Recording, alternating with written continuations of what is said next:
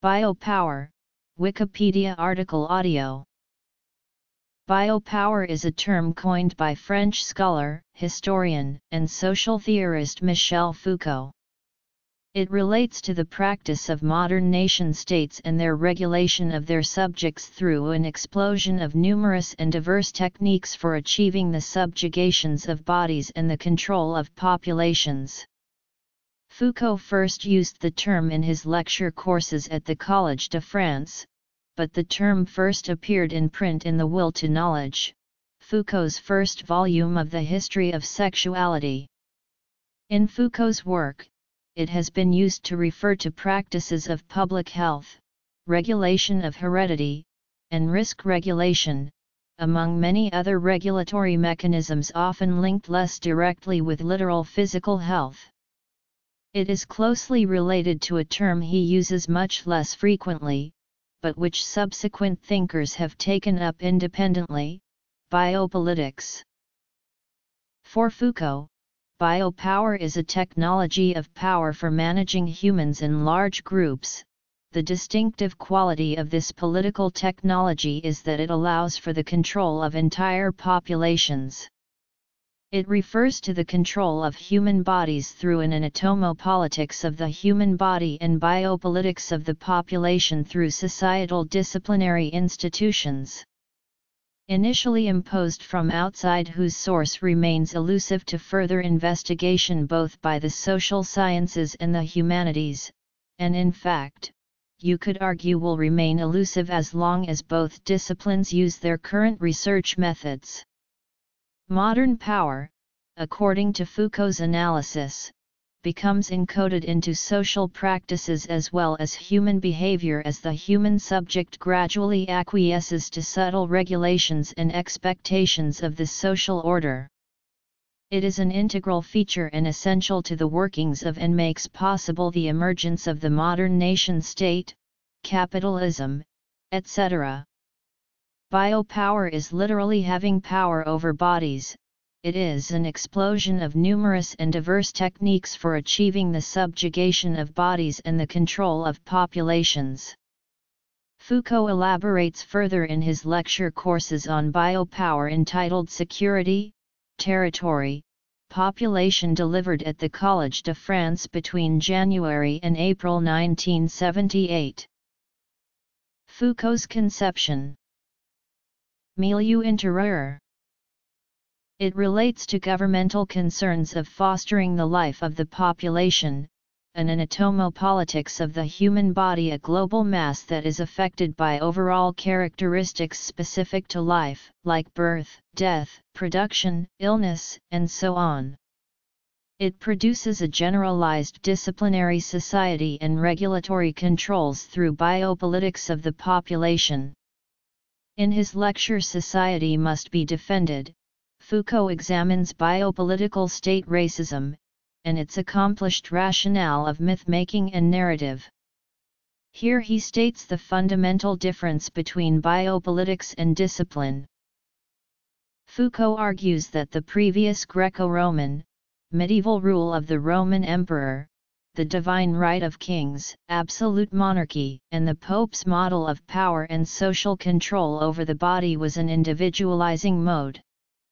However, after the emergence of the medieval metaphor body politic which meant society as a whole with the ruler, in this case the king, as the head of society with the so-called estates of the realm and the medieval Roman Catholic Church next to the monarch with the majority of the peasant population or feudal serfs at the bottom of the hierarchical pyramid.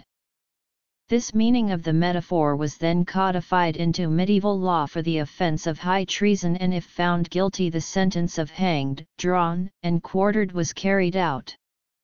However, this was drastically altered in 18th-century Europe with the advent and realignment of modern political power as opposed to the ancient world and medieval version of political power. The mass democracy of the liberal Western world and the voting franchise was added to the mass population, liberal democracy and political parties, universal adult suffrage exclusively male at this time, then extended to women in Europe in 1929 and extending to people of African descent in America in 1964.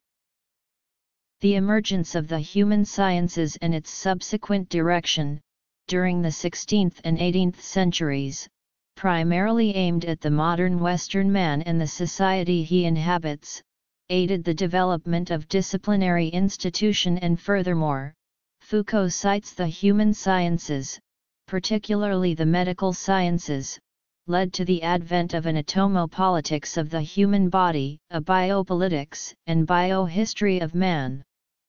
A transition occurred through forcible removal of various European monarchs into a scientific state apparatus and the radical overhaul of judiciary practices coupled with the reinvention and division of those who were to be punished. A second mode for seizure of power was developed as a type of power that was stochastic and massifying rather than individualizing.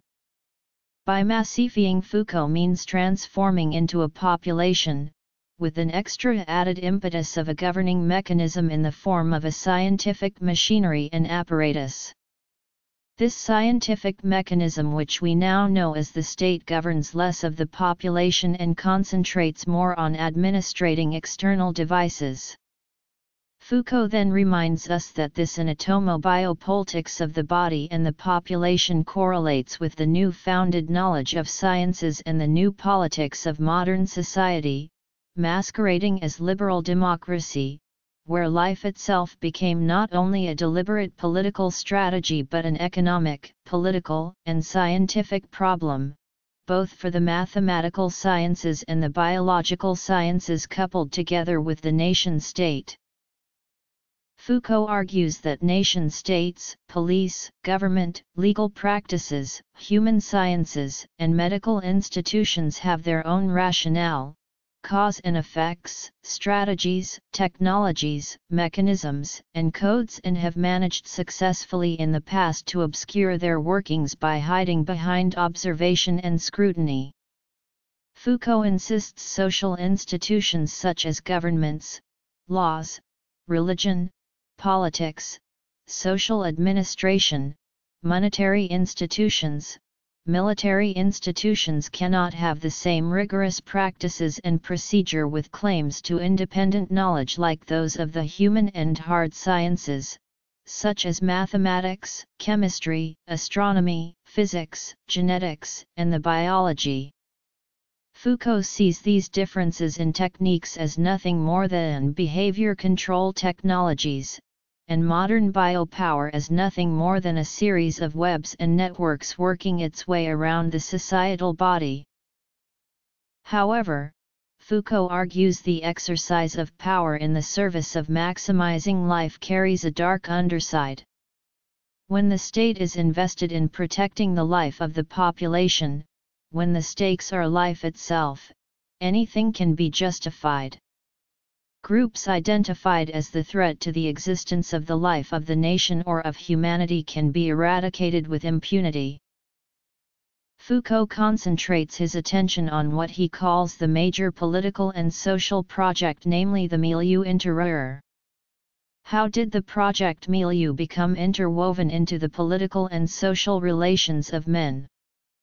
Foucault takes as his starting point from the 16th century right up until the 18th century with the milieu culminating into the founding disciplines of science, mathematics, political economy, and statistics. Foucault makes an explicit point on the value of secrecy of government coined by Jean Bodin. Which, according to Foucault, had to be incorporated into a politics of truth. Foucault argues, in referring to the term public opinion the concept of truth refers to the term regimes of truth. Where Foucault also mentions a group called the ideologues where the term ideology first appears and is taken from. It is through regimes of truth Foucault argues that raison d'etat archives its political and biological success. Here the modern version of government is presented to the population in the national media, both in the electronic medium television and radio and especially in the written press, as the modicum of efficiency, fiscal optimization, political responsibility, and fiscal rigorousness. Thus, a public discourse of government solidarity emerges and social consensus is emphasized through these four points. What general components were essential and necessary to make this consensus happen? Foucault traces the first dynamics, the first historical dimensions belonging to the early Middle Ages. While Foucault does not mention him by name, one major thinker which forms a parallel with Foucault's own work, the medieval historian Ernst Kantorowicz who gets a brief mention here. Kantorowicz mentions a medieval device known as the body politic. This medieval device was so well received by legal theorists and lawyers of the day that it was incorporated and codified into medieval society and institutions. Kantorowicz also refers to the glossator s belonging to a well-known branch of legal schools in medieval Europe, experts in jurisprudence and law science, appeal of treason, the Lord's Appellant and the commentaries of jurist Edmund Plowden and his Plowden reports. In Kantorowicz's analysis, a medieval political theology emerged throughout the Middle Ages which provided the modern basis for the democratization of the hereditary succession of a wealthy elite and for our own modern political hierarchical order and their close association with the wealthy nobility. Namely, the democratization of sovereignty, which is known in modern political terms as liberal democracy.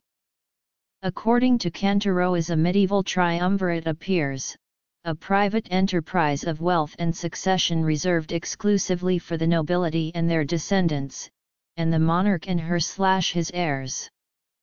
Cooperation was needed by the three groups the monarchy, the church, and the nobility in an uneasy medieval alliance and at times, it appeared fractious.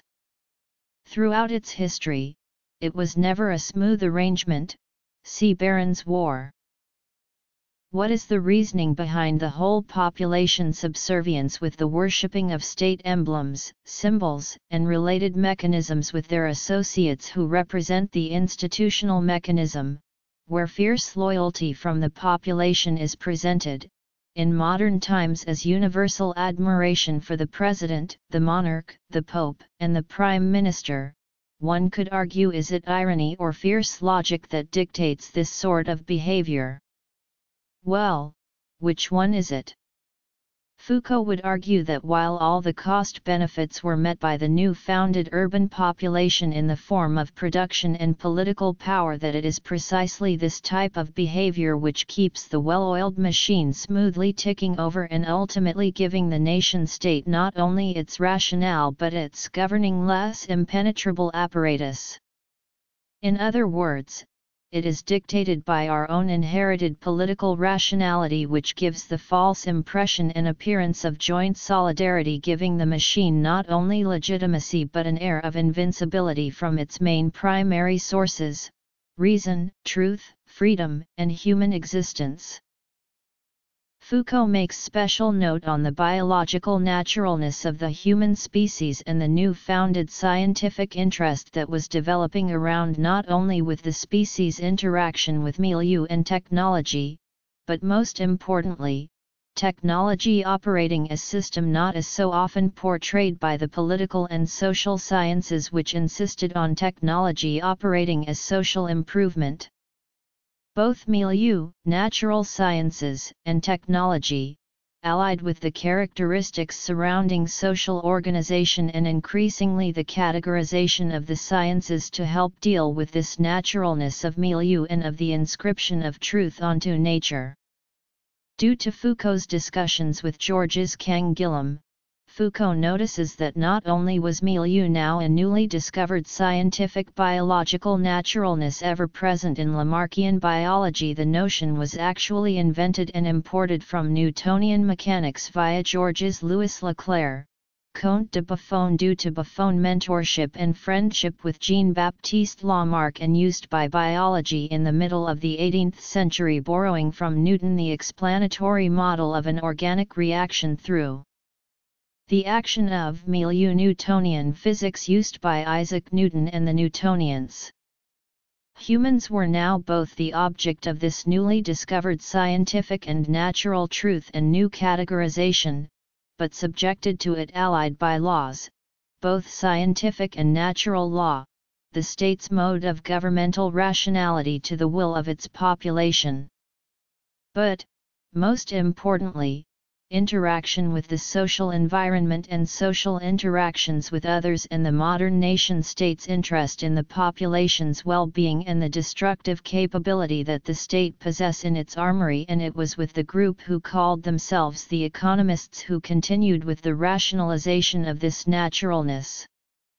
Foucault notices that this naturalness continues and is extended further with the advent of 18th-century political society with the new founded implement population and their association with raison d'etat. Sources